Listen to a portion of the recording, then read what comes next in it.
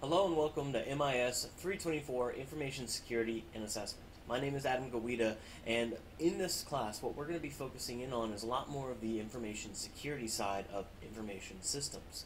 Uh, we always have all these different computers and we have all these different programs uh, running around, and the problem is we have to make sure that everything is secure. You know, your mom, your dad, or if we look at this from a company's perspective, we don't want to be vulnerable. Uh, we don't want someone uh, being able to have access to our systems and stealing credit cards, personal information, passwords, things of that nature. So that's actually what we're going to be looking at in this class.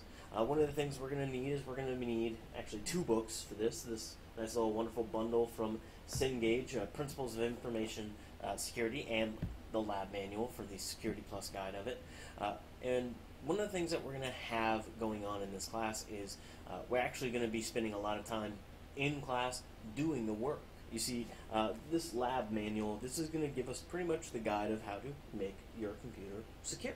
And then this Principles of Information Systems book, uh, this is actually going to give us a lot more of the why, the how, kind of history lessons, if you will. And it's kind of important because uh, we never want to uh, make our mistakes.